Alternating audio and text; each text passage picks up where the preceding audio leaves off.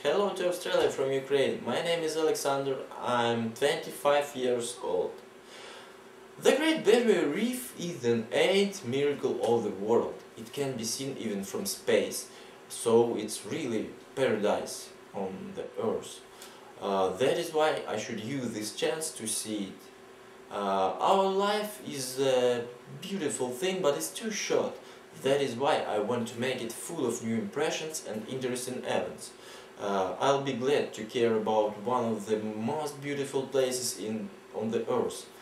Mm, uh, but the most interesting uh, moments I've promised to fix on photo and video.